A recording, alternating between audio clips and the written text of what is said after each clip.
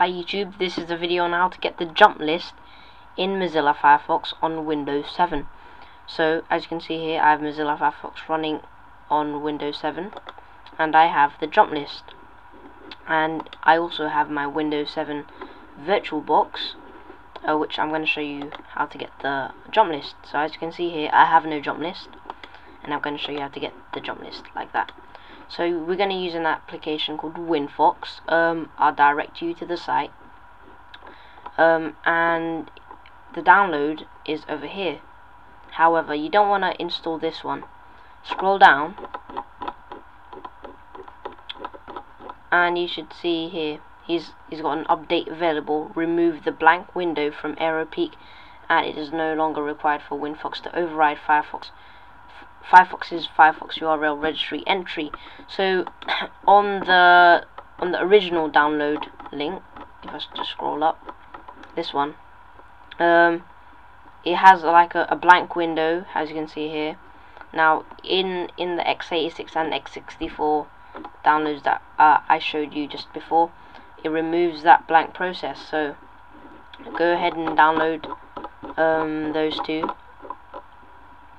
so mine is uh, x86 and go and save the file.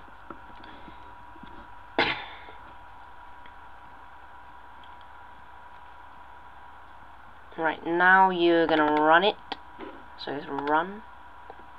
And then um, set it to go to C program files Mozilla Firefox.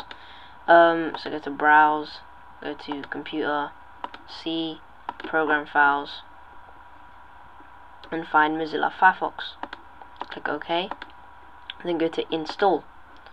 So it says the following file already exists and replace with this one. Just say yes. Now if it says um, it cannot create a file, close down Firefox and then run it again. So I'm going to run again.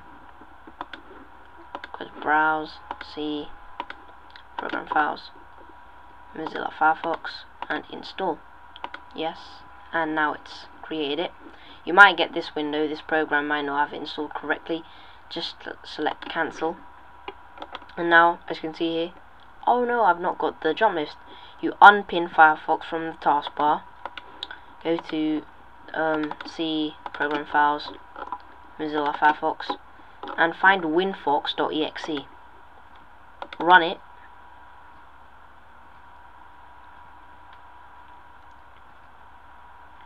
and then you should get this and you get the get those jump lists. So uh, pin it to the taskbar. And then um, to to add uh, things to the to add uh, things to the jump list to add sites to the jump list just drag the icon from the, the what do you call it site URL thingy. Just drag it to the taskbar and it's pinned to the taskbar. So yeah, that's how to get the jump list in Firefox using WinFox. Um, I hope Firefox actually implement this feature in Firefox 4.0 or Firefox 3.7 would be even better. So yeah, um, that's how to get the Firefox jump list in uh, Windows 7. Um, so thanks for watching. Please comment, rate and subscribe if you like our videos. Thanks again.